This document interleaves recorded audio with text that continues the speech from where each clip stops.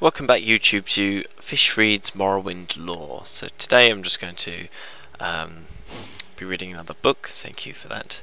Um, and this time it's going to be a little bit more, um, the other one's like more about kind of setting background and story.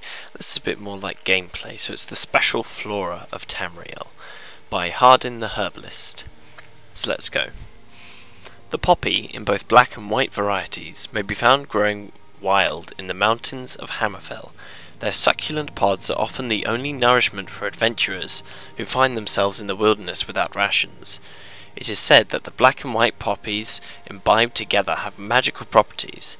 When they are crushed and mixed with the milk of the agile-footed mountain goat, the resulting potion allows the user to glide safely above ground. Fire fern, perennial herb, is native to the province of Morrowind. The flowers are inconspicuous and often hidden.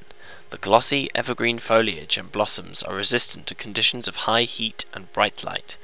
A petal from this plant placed under the adventurer's tongue will provide protection from the heat and fire of the lava pits and thermal streams around Dagoth Ur.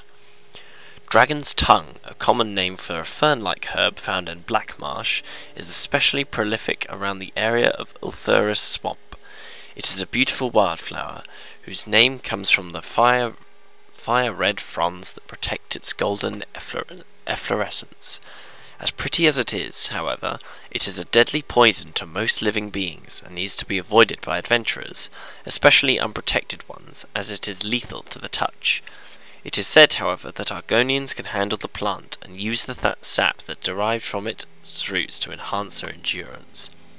Domica redwort is a herb grown by many residents of Valenwood for their beautiful and showy flowers.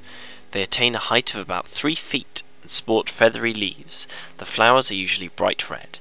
In addition to their beauty, they are said to have the magical ability of enhancing the appearance of anyone who carries or wears one of the blooms. Ironwood nut is a hard-shelled fruit that comes from the ironwood trees growing deep in the forests of Skyrim.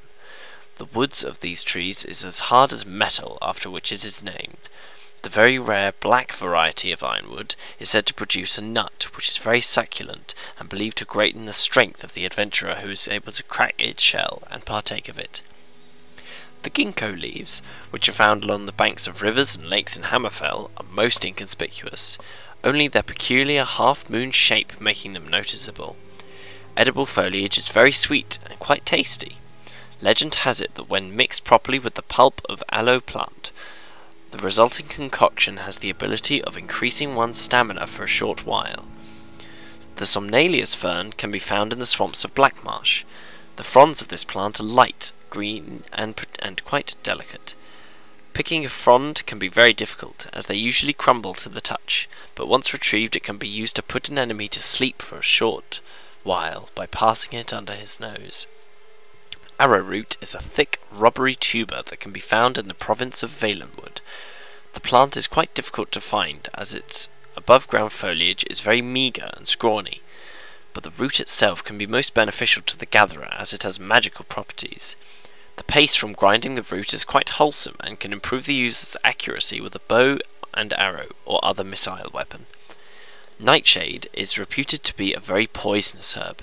However, the variety found in many parts of Elsweyr is cherished by Khajiits, who have taken up careers in thievery.